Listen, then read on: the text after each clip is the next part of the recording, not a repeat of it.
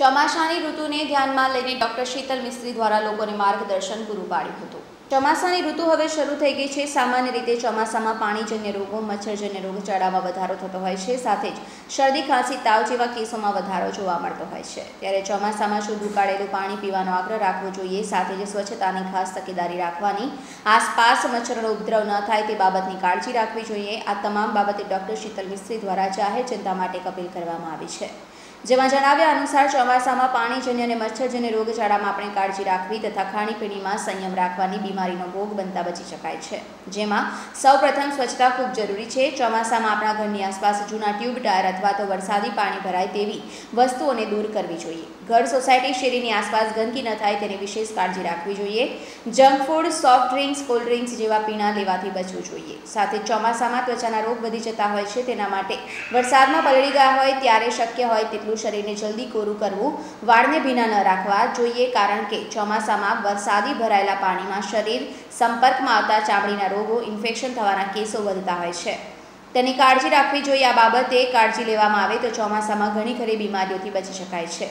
નાના બાળકોની વિશેષ કાળજી રાખવી જોઈએ આખી બાઈના શરીર ઢંકાય તેવા કપડાં પહેરાવા જેથી મચ્છરોથી બચી શકાય. ઘરના દરવાજા બહારી મચ્છરોથી સુરક્ષિત રહે તેની કાળજી રાખવી જોઈએ આ અંગે ડૉક્ટર શીતલ મિસ્ત્રી દ્વારા વિસ્તૃત માહિતી આપી હતી.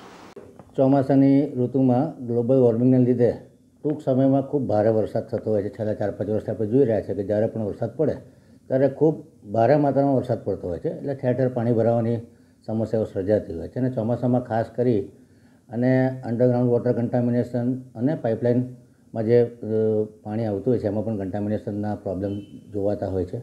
ઠેર ઠેર પાણી ભરાવાના લીધે મચ્છરજન્ય રોગોનો પણ ઉપદ્રવ વધતો હોય છે. ખાસ કરીને કોલેરા ટાઇફોઇડ હિપેટાઇટિસ અને મચ્છરજન્ય રોગોમાં ડેન્ગ્યુ મલેરિયા ચિકનગુનિયા આ રોગોનો ઉપદ્રવ ચોમાસા દરમિયાન વધુ પડતો જોવા મળે છે. એ સિવાય ભેજવાળા વાતાવરણને લીધે અને ઋતુ બદલાવાના લીધે ઇન્ફ્લુએન્ઝા અપર ટ્રેક ઇન્ફેક્શન, અન્ય વાયરલ ઇન્ફેક્શનોનું પણ જોખમ વધારે હોય છે. એ સિવાય જે ગરીબ વિસ્તારના લોકો ચોવીસ કલાક પોતાના પગ પાણીમાં પલળતા રાખતા હોય વોટર લોગિંગને લીધે, ભરાયેલા પાણીમાં અવરજવર કરતા હોય, તો એ લોકોને પગના પંજાબમાં પણ એ ફંગલ ઇન્ફેક્શન લાગવાની શક્યતા હોય છે. એટલે આવા દરમિયાન આવા ચોમાસાની ઋતુ દરમિયાન દરેક લોકોએ ઉકાળી અને પાણી પીવું જોઈએ. ઉકાળી અને પાણીને ઠંડુ કરવું જોઈએ. જેથી કરીને માનો પાઇપલાઇનમાં કોઈ કોન્ટામિનેશન આવ્યું હોય, તે તમામ જંતુઓ ગરમીના લીધે જે પાણી ઉકાળીએ છીએ, એની જે ટેમ્પરેચર વધે છે, એના લીધે મોટાભાગના બેક્ટેરિયા અને વાયરસ મરી જતા હોય છે. એવી જ રીતે ચોમાસાની ઋતુ દરમિયાન બહાર હોટલોમાં અને લારી ગલ્લા ઉપર જે લોકો જંક ફૂડ ખાતા હોય છે, ખાસ કરીને પાણીપુરી ખાતા હોય કે ચાઇનીઝ ખાતા હોય જો પ્રોપર હાઇજીનનું ધ્યાન ના રાખવામાં આવે, તો આ લોકોને ઝાડા ઉલટી ટાઇફોઇડ અને કમળા જેવા રોગો થઈ શકતા હોય છે.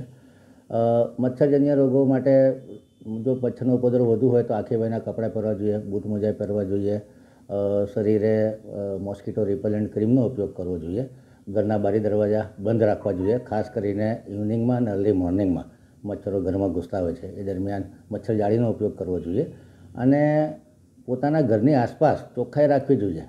જેનાથી કોઈ જગ્યાએ પાણી ન ભરે કોઈ નાનું મોટું પાણી ભરાતું હોય તો ત્યાં પુરાણ કરવું જોઈએ.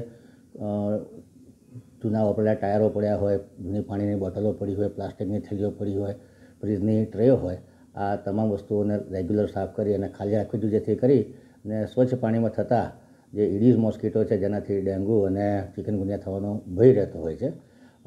જે લોકો ફોરેન ગયા હોય અને આડોશી પાડોશીના મકાનો અગાસીમાં પાણી ભરાતા હોય ઘણા પ્રાઇવેટ બિલ્ડરો પોતાના પ્લોટો એમાં કન્સ્ટ્રક્શન કર્યા વગરના મૂકી રાખે છે અને એમાં પણ વોટર લોગિંગ થતું હોય છે. તો પાલિકાના અધિકારીઓએ આ પ્લોટોની રેગ્યુલર સફાઈ કરવી જોઈએ.